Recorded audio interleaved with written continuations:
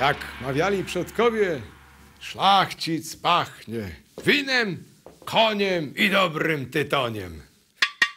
Wino i tytoń są, ale gdzie dziś znaleźć dobrego konia? Rzecz to niełatwa.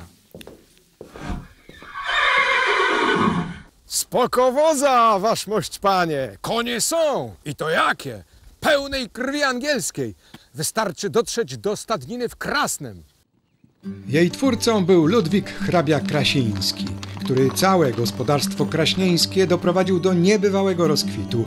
O jego koniach świat usłyszał w 1858 roku za sprawą Walmera, zwycięzcy najważniejszej gonitwy sezonu na polu mokotowskim.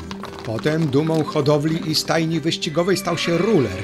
Niestety był z niego kawał diabła. Podczas porannych galopów chwytał dżokeja zębami za kolana i ściągał go z siebie. Nie pomagał kaganiec, nie pomagały prośby ani groźby i błyskotliwą karierę wyścigową trzeba było przerwać.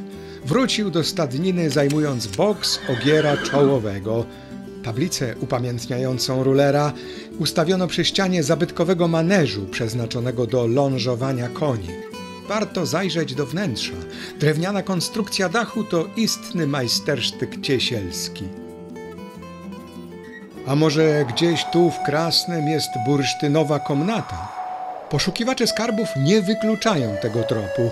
Podczas okupacji faszystowskiej zarządcą dóbr Krasne był Gauleiter Erich Koch, odpowiedzialny za śmierć 400 tysięcy Polaków, a także za rabunek zbiorów z carskiego sioła. Wybuch II wojny światowej zakończył 700-letnie dzieje Krasnego jako gniazda rodu Krasińskich. Został po nich kościół, w którym spoczywa hrabia Ludwik z żoną Elizą i resztki zabudowań folwarcznych.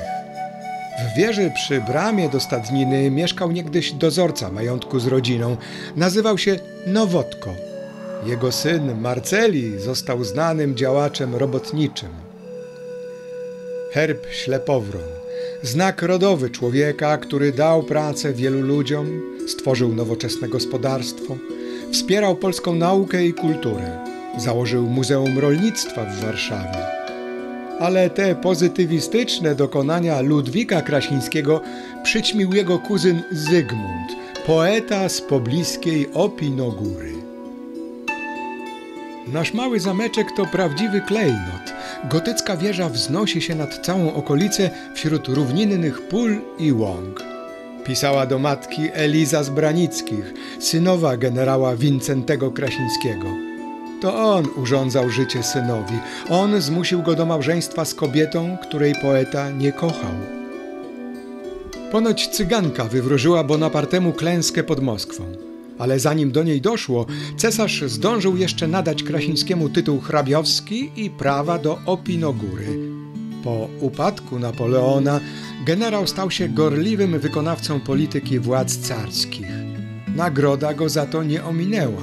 Uzyskał zgodę na utworzenie ordynacji gwarantującej nienaruszalność i niepodzielność majątku dziedziczonego zawsze przez najstarszego syna. Pierwszym ordynatem opinogórskim został wieszcz Zygmunt. Nie lubił tej roli i krótko się z nią męczył.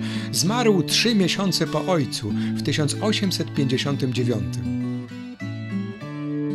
Wystrój sali napoleońskiej nawiązuje do chlubnej przeszłości generała jako dowódcy pułku szwoleżerów, do słynnej szarży pod Samosierą, słowem do legendy napoleońskiej żywej w domu Kresińskich. Jako wielki przeciwnik powstania listopadowego, Wincenty Krasiński nie cieszył się najlepszą opinią w kręgach patriotycznych. Są tacy, co mnie od czci i wiary odsądzają. Patriotyzmu odmawiają, współpracę z wrogiem zarzucając. Powiem im jedno. We wszystkim, comkolwiek czynił, zawsze honor rycerski mi przyświecał i raz danej przysięgi nigdy mnie złamał. Niestety syn mój za grosz nie ma zastanowienia ani rozsądku. Chce być tylko pismakiem, a sam kiedyś zobaczy, że ani sławy pisarza nie dosięgnie, ani zadowolenia. Żalił się generał krewnej Amelii Załuskiej, która była pierwszą nieśmiałą miłością Zygmunta. Tę wielką, jaką żywił do Delfiny Potockiej, musiał porzucić, by zadość uczynić planom ojca generała. Wieszcz uległ, ale odtąd Opinogóra stała się dlań miejscem udręki. Ponieważ chorował na oczy, najchętniej przebywał w mrocznym pokoju z kominkiem i wstawał dość późno. Już słońce wysoko na niebie, a pan poeta jeszcze nie ubrany? Milcz, człeku. Jestem ciężko zakochany. romantycznie rozmemłany. Rozmemlany. Znosiła te humory Eliza z Branickich, nieszczęsna żona Zygmunta, tłumiąc w sobie ból serca i upokorzenie. Po nieudanym małżeństwie musiała jeszcze przeżyć śmierć trójki swoich dzieci. Pałacyków w Opinogórze nie rozwiał wiatr historii, czego obawiał się generał Wincenty Krasiński. Jest w nim muzeum romantyzmu. A Zygmunt sięgnął szczytów poetyckiej sławy. Za sprawą nieboskiej komedii i Irydiona trafił do grona trzech wieszczów narodowych. Klasycystyczny kościółek na skraju pałacowego parku zbudowali kolejni ordynaci.